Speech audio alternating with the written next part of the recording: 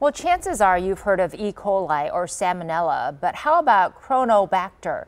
It is the name of the illness linked to the recent powdered baby formula recall of popular brands like Similac. And a Cronobacter outbreak is rare, but it can make babies really sick. Consumer investigator Kristen Byrne shares some steps you can take to keep the bacteria at bay.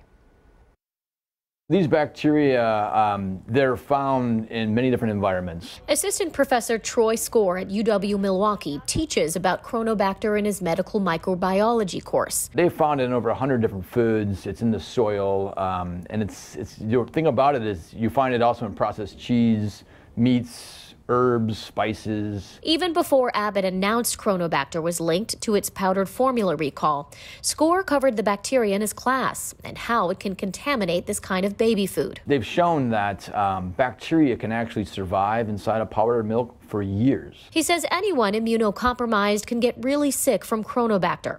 Infants fall into that category since their immune system hasn't fully matured. So he says practicing proper hygiene is a must especially for newborns. If we get sloppy, let's just say, and we don't clean our hands beforehand, and then we make your infant's formula, those bacteria could get into the milk. To best protect your baby, the CDC says toss out expired formula. Make sure your container doesn't have dents or opened seals, and sanitize and sterilize all parts of the bottle.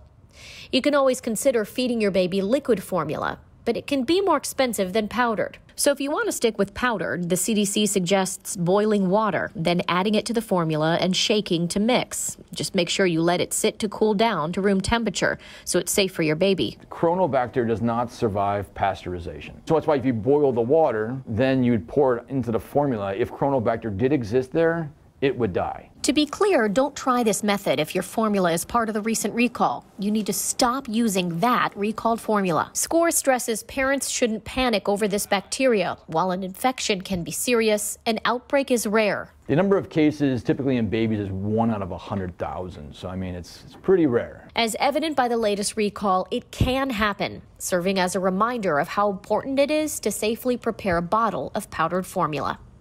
I'm consumer investigator Kristen Byrne. Important information, Kristen. Thank you.